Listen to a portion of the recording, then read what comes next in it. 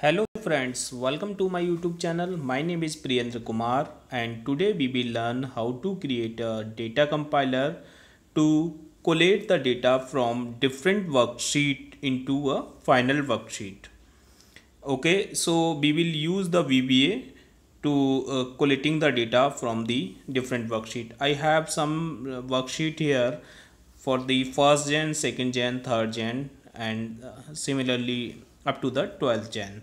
And I have created a collated data sheet here. So I'm taking the command button ActiveX command button from developer tab insert. Okay so just click on the property check the uh, select the command button and click on the property and changing the caption for the command button which is compile the data. Okay and so we can double click on this button to going to the coding window or can right click and go to the view code. Okay now code is visible for this button. Now we will write the code here to compiling the data. So first of all i am defining the worksheet dim dsh as worksheet and dim sh as worksheet. Worksheet. Okay. So i have defined two worksheet here. One is dsh second is sh now i'm assigning uh, dsh equal set dsh equal to this workbook dot sheets and i will assign collated data for dsh okay. So now collated data is dsh so uh, we have to take an integer. So i'm defining dim i as integer. And we will write a loop to collating the data from the different worksheet. And we will paste that data to the collated data worksheet. Okay so i'm writing the code dim i equal to 2 so my code will uh, so my code will start from the sheet number 2 so collated data sheet is available on the uh, first location. So that is why i'll start collating data from sheet number 2 so make sure uh, there should not be any hidden sheet in your workbook. Okay? So let's start. Set sh equal to this workbook dot sheets and i. I is the running number basically in the loop okay? So each time sh will be changed. For first time sh will be seat number 2 which is first chain. And similarly again it will be seat number 3 seat number 4 so as so now i'm using the codes sh dot used range dot copy. So all data which is used on the sh will copy. And now i will paste on the DSH okay? So for that I'm taking N and M as long okay? To getting the last row where I should paste the data. And I will get the last row after for I. And uh, now I'll write the code to getting the last row. N is equal to dsh dot range a and application dot row dot end xlr dot row. Okay this is the code to getting the last row for the collated data sheet. So where we have to paste the uh, value from the different worksheet. So each time the last row will be changed. Okay so now i am pasting this data dsh dot range a and n plus 1 dot paste special space excel value and formats. Okay. So uh, just look at here. Uh, our data is available to the g column. So now we will give uh, one more column h column for the seat name in the collated data sheet. Okay. So i'm just copying the same data and just changing the last row with the m. So post pasting the data mm, the last row will be the m. And before pasting that data the last row will be n. Okay? So now i'm writing this code on the column h. So we are creating the column h for writing the seat name. From which seat this data has been copied. Okay? Dsh dot range h n plus 1 which is uh, the last row before pasting the data and comma h and m after pasting the last row. Dot value equal to ss dot name. This seat from which we have copied the data the name of that particular seat okay? So right click on the button just go to the format and click on the don't move with the cell okay so there is some error in the code. So we have to write the count after rows to getting the last row. Just press this count press f5 again there is an error. That is oh uh, rows dot count again. Okay. Now it's working. So data has been collected just look at the collected data sheet. So now data is collected from all the seats okay. So click on the button. Now data is collected but still there is some formatting issue. First row is blank. Okay so we can write a code to deleting the first row. We can write dsh dot range 1 to 1 1 colon 1 inverted comma close bracket close dot delete. So first row will be deleted okay post collecting the data. So i'm deleting it manually. And we can give the header for the h column also. H1 dot value equal to seat name. So we have given the sheet name on column h. Okay. So this is the additional column which we have added. This is not available in each sheet.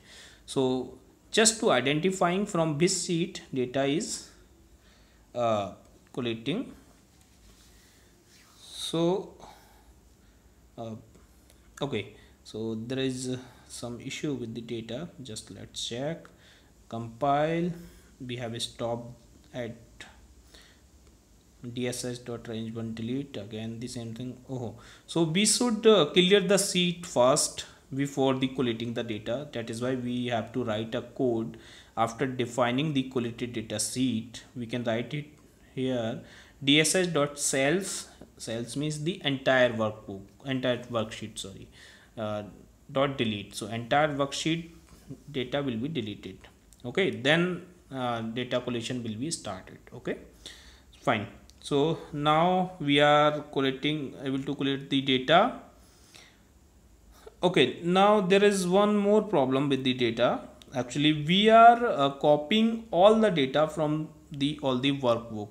That means we are copying the header also from the worksheets right?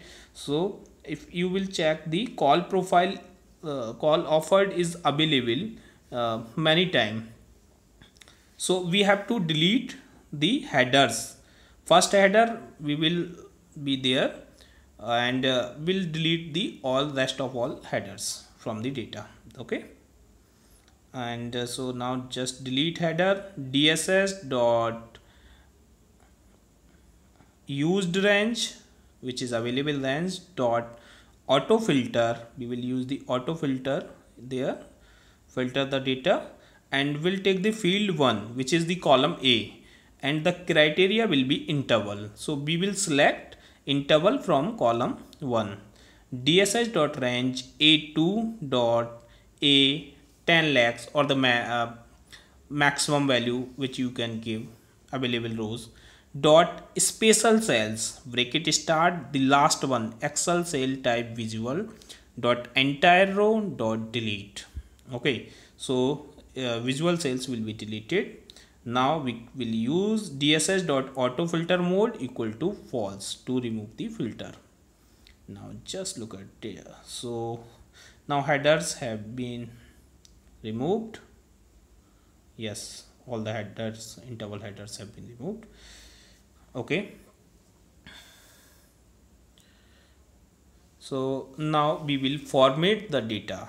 Okay now our data is correct and it it is collated finally.